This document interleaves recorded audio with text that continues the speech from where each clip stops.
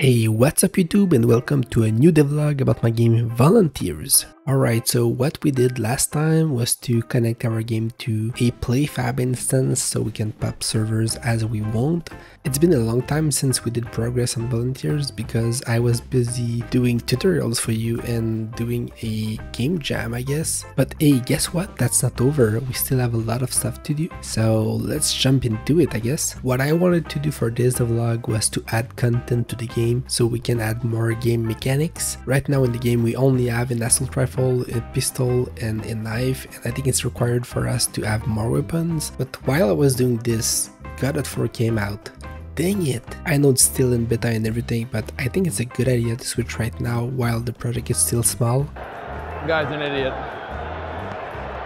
So I guess we'll take all the cool new features and we'll put them right into the trash. Alright, before to convert my actual project, I need to do something important. I need to convert my network library so it's compatible with Godot 4. Basically, it's the network library I created for my game so I can easily handle all the server authoritative part. I do it in a separated project so it's easier for me to debug small things like that and after that I can bring all the stuff over in my actual project. Well, it looks like I managed to make it work in Godot 4. I'm happy with it. Alright, so I guess it's time, right, to convert the actual project? Let's do it. Yeah, conversion, blah blah blah. Well, what could go wrong anyway? Convert the full project. Oh my god, that's a lot of changes.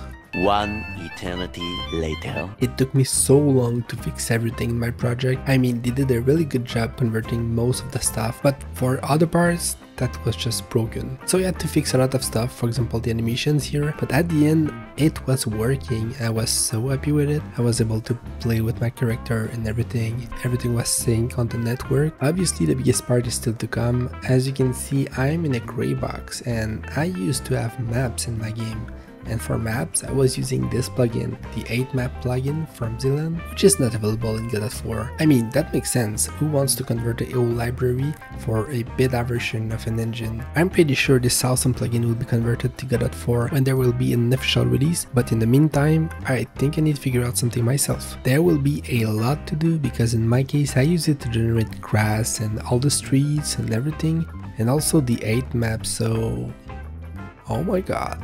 Dang it! Don't get me wrong, I knew I would have this problem when I started to convert my project, but the thing is, I prefer to convert my project now while everything is not too complex. My first attempt was to actually convert myself the old Zylann plugin, and yeah, that took me a long time to at least have something that compiles. At the end, I was able to at least enable the plugin inside of the plugin manager, and yeah it was enabled and I also add this awesome small icon here telling me that there is something but I only add that small flat terrain here it also has some strange stuff in it like this I guess this is some shader but I don't know. There was a lot of stuff broken, so I guess at this point I wasn't quite sure I wanted to continue in this path. So I guess I'm gonna try something different. This is the perfect time to try shaders, I never played with them, so I guess this is the moment we're gonna do it. Well, that was easy. Alright, I'm kidding. Of course, I did way more experiment than that. I did a lot and a lot of testing before I got something to work. And at some point, I get something that looks a little bit like my previous map. Wow, and I have this spike here. I don't know what it is. Anyways, that looks great, but I need more stuff, like for example textures. My first attempt at texturing the map was to layer all the textures on top of each other, but of course that was not perfect. It was pretty hard to get all the textures to be blind together smoothly. So yeah, at the end I decided to change for a splat map technique and this is similar to what Zylann's used in his heightmap plugin. So I think I'm good with this and this was really fun to do. And again, this is my first experiment with shaders. I was happy just to give it a try. The next thing is I was using grass in my game. So time to generate grass. I used a GPU particle system for this. So it means that each blade of grass is in fact a particle Awesome, isn't it? I also knew that one of my map uses different kind of grass, so I had to support several layer of grass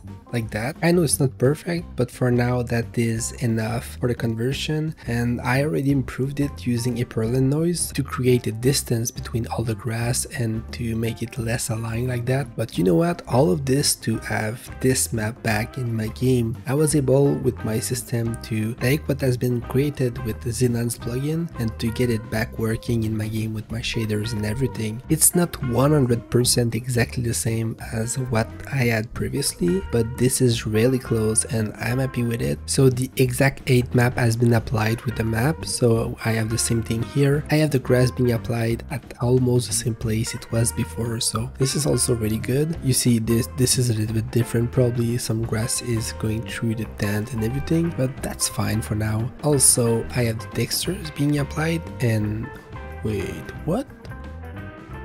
What is this? Isn't it supposed to be a big factory? Oh well, I guess I will have to fix some stuff, but yeah, at least I have my texture being applied, all the streets are good enough. Let's have a look at the other map. Awesome, it also works, I have all my textures again and what is this? What? Well, apparently this is all due to the conversion, but that's fine, that's fixable. Well, look at this, I have my map working again. And I didn't mention it, but I also generate a collision mesh, so I can actually walk and everything everywhere on the map. The heightmap is working pretty well. I had some crashes when I was placing too much lights on the map, but that's fine, we can add them later. I guess that's about it. I mean, I think we can say now that Volunteers is um, on Godot 4. I'm really happy with it. It was a really long process, but at least this step is done and we can move forward doing some more cool stuff and more feature for the game. Alright folks, I hope you enjoyed it and we're gonna see each other on the next one.